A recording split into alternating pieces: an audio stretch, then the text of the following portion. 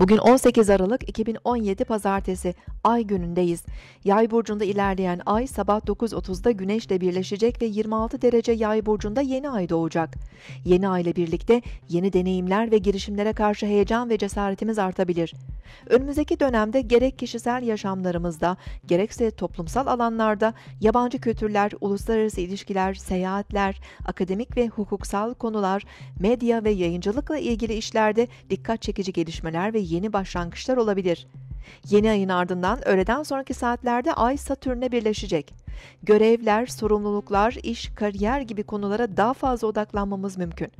Yaşamımızdaki otorite kavramları, aile büyükleri, olgun yaştaki kişilerle ilgili mesuliyetlerimiz de olabilir. Ay 16.34'ten itibaren Oğlak Burcu'nda ilerlemeye başlayacak. Akşam saatlerinde daha içe dönük ve karamsar hissedebiliriz. Duygusal ihtiyaçlarımızı geri planda tutup iş, para ve kariyer hedeflerimizle ilgili planlamalar yapabiliriz. Siz de şimdi kanalımıza abone olun, yorumlar bölümüne sorularınızı yazın, sürprizlerimizden haberdar olun.